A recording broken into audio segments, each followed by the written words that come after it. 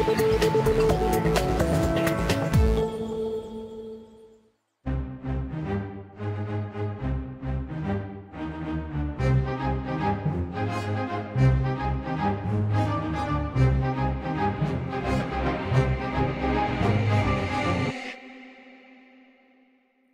is een passie, het is een prachtig vak, maar het is gewoon wel hard werken. Absoluut, absoluut. Ja. Maar dat, dat hoort erbij en dat heb je daarvoor ook over. Want uh, ja, het is niet zo dat je, dat je van 9 tot 5 baan hebt. Dat uh, weet je ook. En je weet eigenlijk ook vanaf begin af aan dat je niet rijk wordt. Tenzij er een grote uitzondering is natuurlijk, uh, dat kan.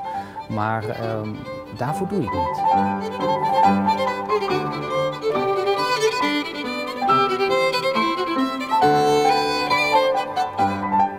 Thomas Herman, concertpianist uit Almere. Herman is befaamd om zijn internationale kamermuziekfestival.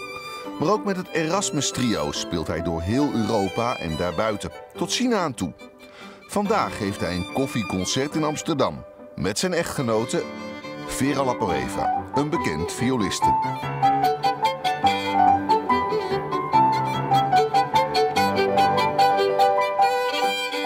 Wat maakt klassieke muziek zo, zo mooi voor u dat u dat wil overbrengen? Ja, het raakt mezelf.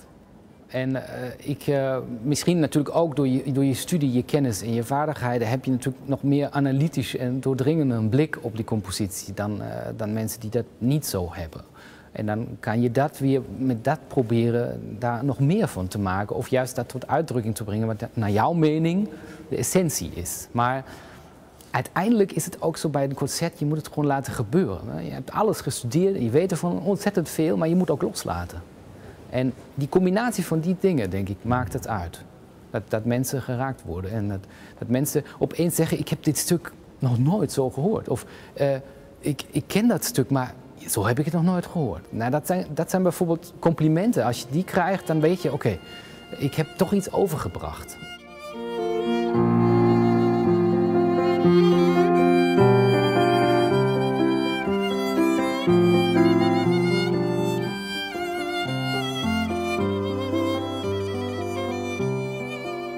Om samen te spelen? Ja, leuk. Praktisch, maar ook inspirerend. Ja, want is het, is het inderdaad altijd leuk? Want het kan ook wel eens werk in privé kan wel eens botsen natuurlijk. Ja, dat klopt. Dat ja, kan. Dat kan. Ja, maar bij ons niet. Nee, Gelukkig niet. Het gebeurt nooit eigenlijk. We hebben nooit ruzie of zo met elkaar.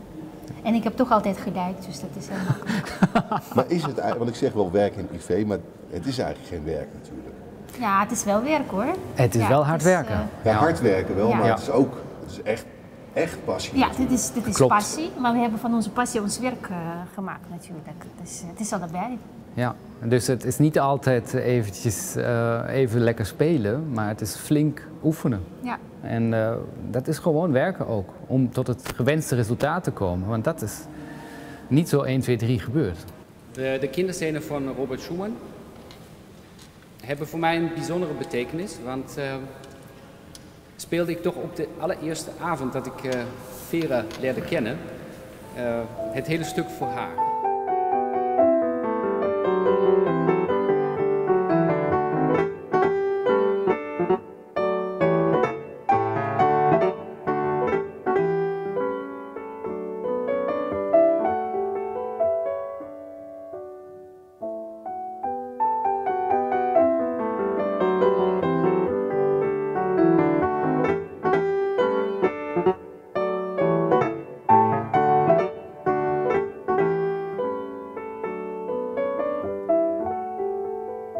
Ik ook net bij het concert even vertelde, ik gaf eh, dan meteen op de eerste avond een klein concertje voor, voor Vera in dat kerkje.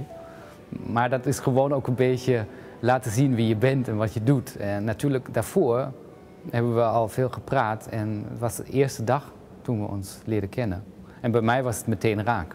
Ik, ik voelde meteen dat het eh, eh, ontzettend een goede muzikant is. Dat hij ontzettend veel ziel heeft in zijn spel. En dat hij ook werkelijk ehm, ja, ja, voor muziek houdt en heel veel passie heeft voor de muziek. En eh, ik kom uit een heel muzikale familie, dus voor mij was het net thuiskomen met zo iemand. eh, ja, en sindsdien eh, Gaat het goed? 17 jaar.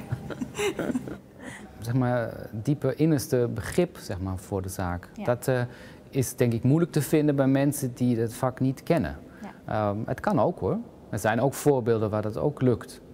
Alleen ehm, is het best, het vergt veel van, Ja. van iemand die, eh, die niet kan begrijpen dat je op de onmogelijkste momenten op de dag weer moet studeren. En waarom nog een keer? En, en weg moet. En heel onregelmatige werktijden natuurlijk ook wel. En dat je ook eigenlijk, ook al studeer je niet, nou, maar je bent altijd met muziek bezig. Ook je denkt altijd aan. Je, je, je bent heel vaak met je gedachten ergens anders. En dat is voor iemand die het niet in het vak zit, is heel moeilijk te begrijpen. Gaat het niet dan altijd over muziek? Nee.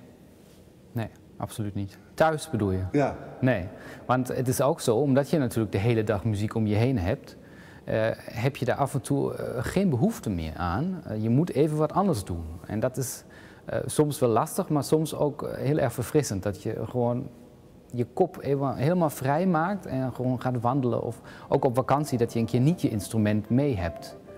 Dat is toch wel heel goed.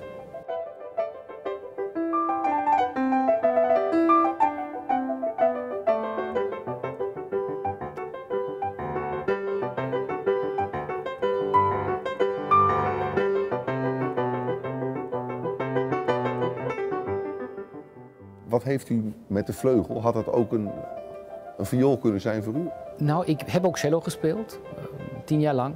Eh, ik heb ook heel veel gezongen, ook in koor, ook nog hier in Amsterdam en alles. Dat, dat vind ik ook allemaal heel leuk. Maar om nog een keer op je vraag terug te komen, zou het ook een ander instrument geweest kunnen zijn? Ik denk wel.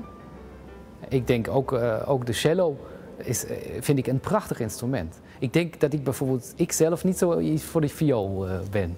Want dat is zo lastig en daar heb ik niet de goede vingers voor.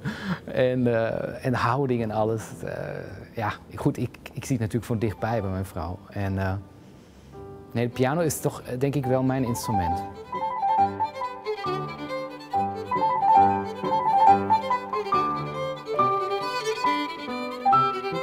Je bent eigenlijk een bemiddelaar. Je, je bent niet Thomas Herman of iemand anders. Nee, je bent eigenlijk een bemiddelaar tussen heel ver boven en wat door de muziek tot uitdrukking wordt gebracht. Wat door die grote componisten is opgeschreven die ook hun eigen inbreng hadden bij die compositie. Eh, dat moet niet precies dat zijn wat jij daarvan maakt. Maar als je het overbrengt, dan raak je mensen. En dat is eigenlijk waar het om gaat. Wat is dan de kunst van dat overbrengen? Hoe, hoe, hoe kan dat? De kunst van het overbrengen, ja, dat is een heel complex verhaal. Natuurlijk speelt een technische verhaal een rol.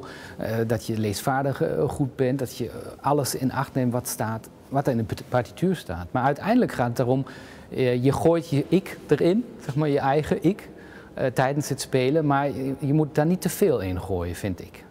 Want je moet in dienst blijven van de muziek. En dan hoop je dat het overkomt en dat het mensen raakt. Dan kan je soms ook naast liggen. En soms heb je vanavond na een concert bijvoorbeeld zo, ja, nou, ik vond vandaag eigenlijk, ja, was niet zo best. En opeens komt iemand in de kleedkamer helemaal in tranen en zei, ah, het was zo mooi hoe, je gespeeld hebt. Ja, dan ben je uitgepraat. Dan, dan, dan hoef je niks meer te zeggen. Dan weet je, dit was goed.